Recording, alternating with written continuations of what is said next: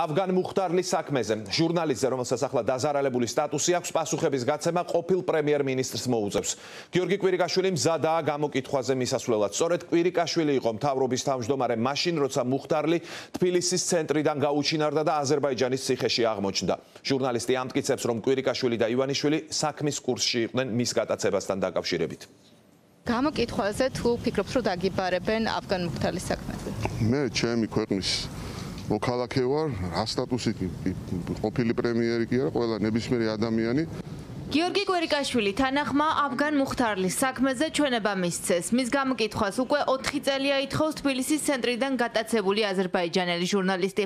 მუხთარლი ამტკიცებს, რომ მისი გატაცება ალიევის მთავრობას შეთანხმებული პირადად მაშინდელ პრემიერთან ჰქონდათ. ბრალდებებს აბსურდულს უწოდებს თავად კვერიკაშვილი. მუხტარლი რას ამბობს ახლა რატო უნდა ჩაითვალოს თქვენ ჟურნალისტებს არ გიჩნდებათ კითხვა რომ ხო შეიძლება ეს ადამიანი არასწორს ამბობდეს და თქვენი არგუმენტი რა არის ამ შემთხვევაში? ანუ ის არასწორს ამბობს რა? ჩემი არგუმენტი არის ჩემი სიმართლე. მუხტარლი რატომ ამბობს თქვენ ვიღაცას აქვს ამის ინტერესი ალბათ ხო? ვის შეიძლება ქონდეს ამის ინტერესი? არ ვიცი თქვენ თვითონ დაფიქრდით მაგაზე. კვირიკაშვილი კვირიკაშვილმა თქვა რომ ამ ყველაფერში მონაწილეობა არ მიუღია. თუ ასეა, როგორი პრემიერი გამოდის? ესე იგი ძალოვანები მას არ ემორჩილებოდნენ. აფგან მუხთარლის 4 წლიანი მოთხოვნის შემდეგ პროკურატურამ დაზარალებული სტატუსი ოფიციალურად მიანიჭა და საქმის კვალიფიკაცია დააზუსტა. პროკურატურამ გაიზიარა მუხთარლის მიერ მიწოდებული ინფორმაცია, რომ ის თბილისის ცენტრიდან ჯგუფურად წინასწარ მომზადებული სცენარით გაიტაცეს. მუხთარლი დარწმუნებულია, რომ იურიდიული სტატუსი ფორმალურია და ქართული ოცნების მთავრობა მისივე ჩადენილ დანაშაულს არ გამოიძიებს. ეს იქნება პოლიტიკური გადაწყვეტილება საქართველოს ხელისუფლებისთვის. კონკრეტულ გადაწყვეტილებას ალბათ მთავრობის ხელმძღვანელი მიიღებს. 4 წელი იფიქრეს და ახლა დაზარალებული ვარ. ალბათ კიდევ 4-5 წელი გაგრძელდება და საბოლოოდ გადაწყვეტილებას ვერ მიიღებენ.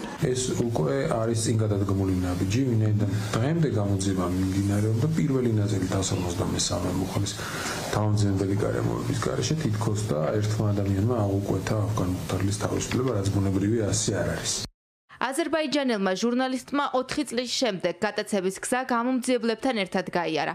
პროკურორებთან მუხთარლიმ დეტალურად გაიხსენა 2017 წლის 29 მაისი თბილისის ცენტრიდან ჭონქაძიდან საქართველოს აზერბაიჯანის საზღვრის კვეთამდე.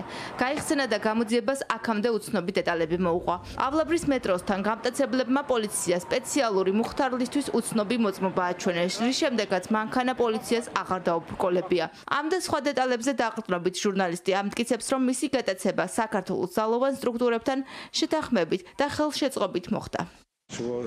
მოვითხოვ დაისაჯოს ყველა მათ შორის კვირიკაშვილი, ასევე სახელმწიფოს ნამდვილი მეთაური ივანიშვილი. მისი ნებართვის გარეშე ამას ვერ გააკეთებდნენ.